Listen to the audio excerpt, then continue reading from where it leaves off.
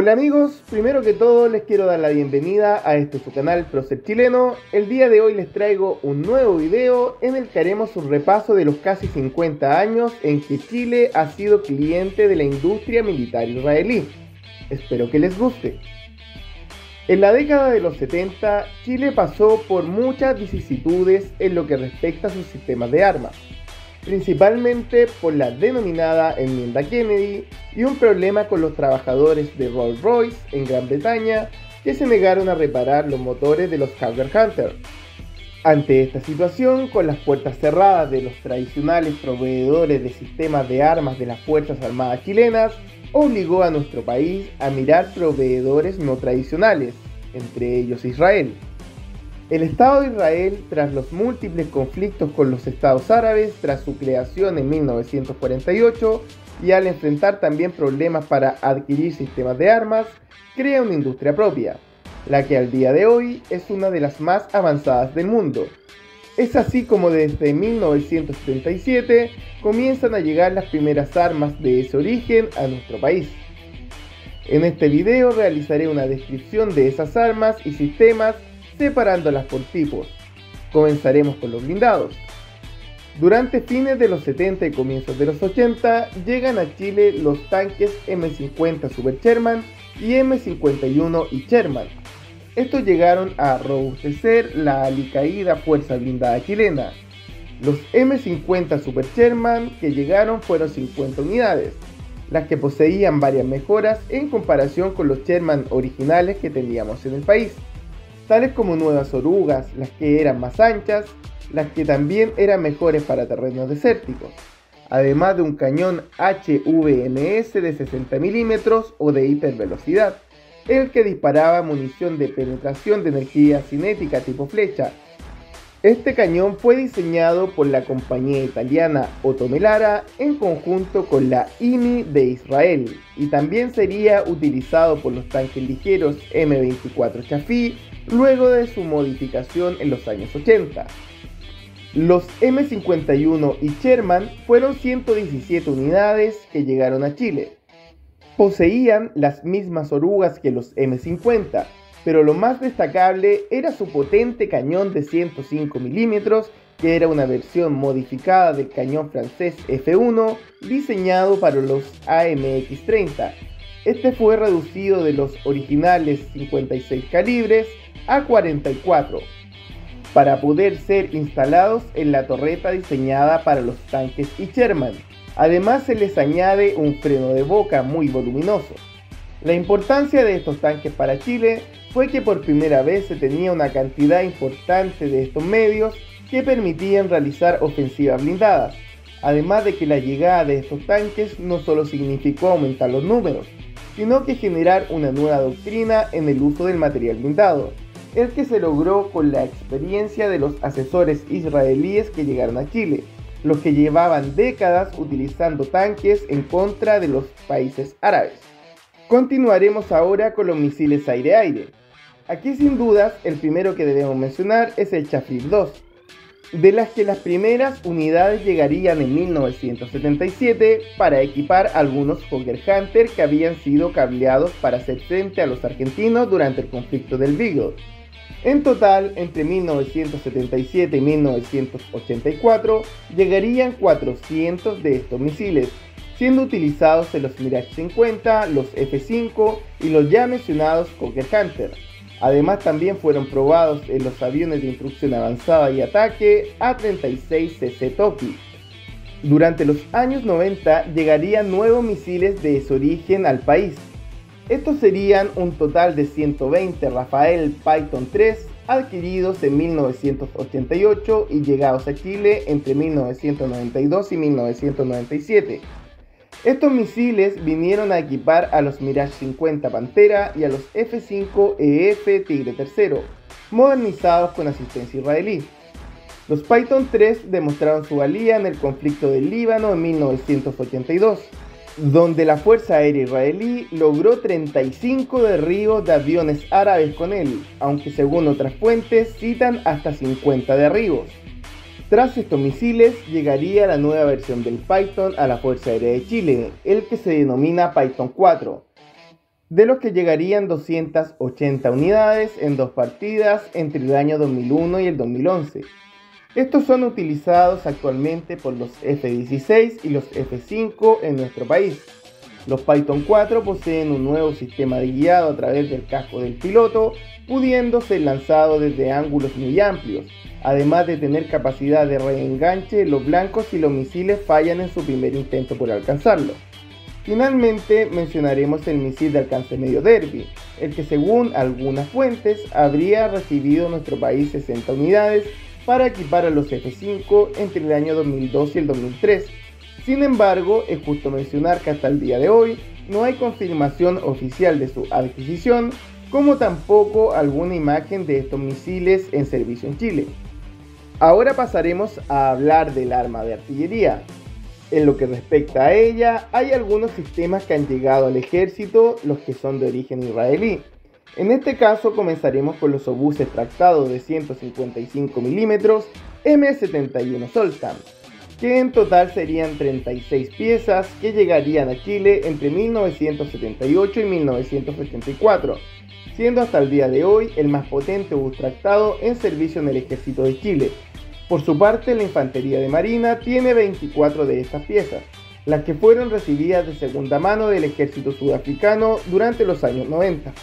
Igualmente, en lo que respecta a artillería de origen israelí en Chile, debemos mencionar los sistemas de lanzacohetes múltiples de 160 mm LARD 160, de los que el ejército de Chile recibió 10 o 12 según la fuente que se consulte, en el año 1994. Estos hasta el día de hoy son los únicos lanzacohetes múltiples en servicio en el ejército. Y finalmente mencionaremos los 24 morteros Soltan K6 de 120 milímetros recibidos en el año 2000 por parte del ejército de Chile. Pero la lista de armas sigue amigos. Ahora hablaremos de los misiles antitanque.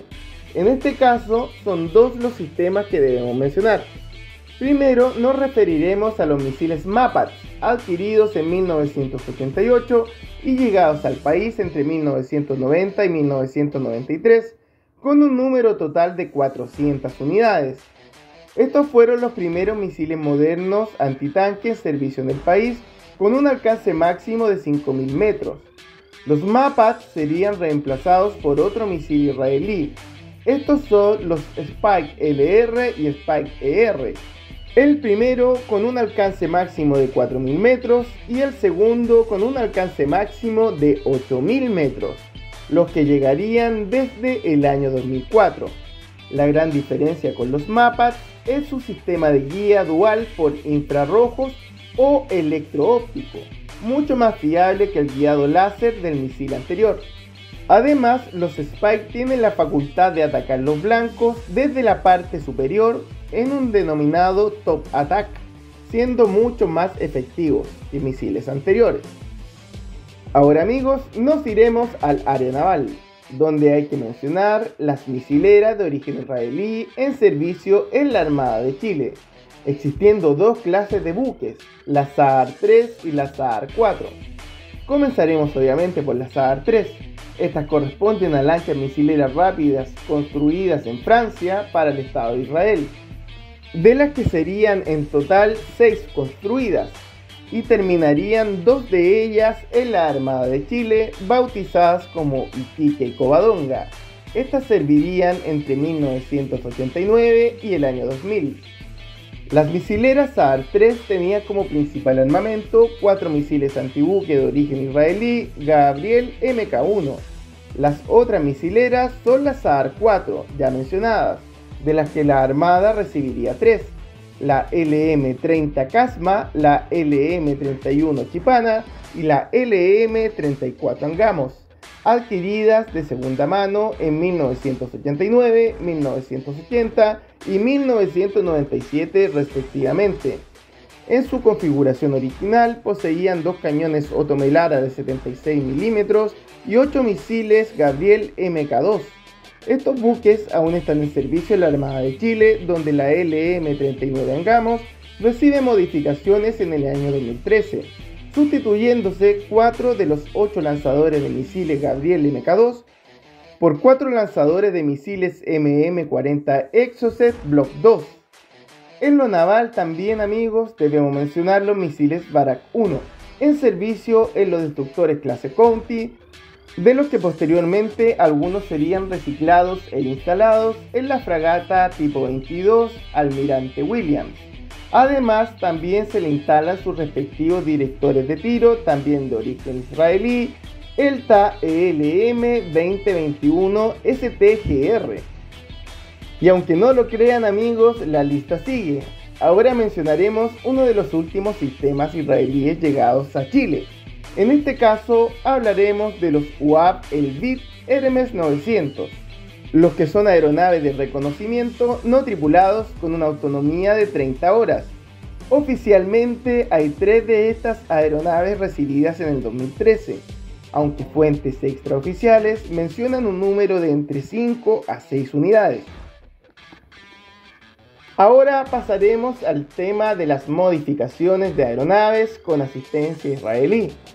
Aquí hay que mencionar la modificación de los Mirage 50 recibidos a fines de los años 70 y mediados de los 80 a la versión Mirage 50 Pantera, donde se le instala el radar telemétrico ELTA ELM 2001B, además de reformas estructurales como aletas Canard, capacidad de lanzar bombas de guiado láser Griffin, también de origen israelí por cierto, misiles Chafir 2 y Python 3 además de una sonda de reabastecimiento aéreo, entre otras mejoras. También hay que mencionar la modificación de los F5 a la versión F5 Tigre III. Esta modificación incorpora el nuevo radar de origen israelí ELTA EL M2032, misiles Python 3 y Python 4, una sonda de reabastecimiento aéreo, entre otras mejoras. Igualmente es importante nombrar las modificaciones de dos aviones Boeing 707 durante los años 90, el que uno sería convertido en un avión de reabastecimiento aéreo denominado Tanquero Águila y el otro sería modificado como avión de alerta temprana, comando y control, siendo denominado como Cóndor. Si quieres saber más sobre estos aviones, ya sean de los Panteras, los F-5, el Tanquero Águila o el Cóndor, estos tienen su video específico en este canal, donde hablamos de los aviones y sus modificaciones en detalle. Solo los debes buscar en el video que está en la sección de videos del canal. Ahora, para finalizar, mencionaremos el armamento menor, tales como fusiles Galil en sus versiones AR y ACE en servicio en el ejército, y SAR, que es el fusil estándar de la FACH. El ACE es el fusil estándar por su parte del ejército en la actualidad. También debemos mencionar los Jeep M240 Storm, subametralladoras UCI en servicio en varias ramas de la defensa, entre otros tantos armamentos de ese origen que han servido a nuestro país. Sin lugar a dudas, la colaboración militar entre el Estado de Israel y el Estado de Chile ya tiene una larga data y ciertamente debería continuar en el futuro, dado que los sistemas de armas que ofrece la industria militar israelí han demostrado en el tiempo ser de excelente nivel. Bueno amigos, hasta acá con este video sobre las armas israelíes en servicio en Chile. Espero que les haya gustado este trabajo, no olviden darle like y suscribirse en el canal si aún no lo han hecho además de activar la campana de notificaciones para que se vayan enterando de todas las novedades de nuestra comunidad. También les recuerdo que tenemos un Instagram, el que vamos actualizando día tras día. Esto es todo de mi parte y como siempre me despido con un cambio y fuera.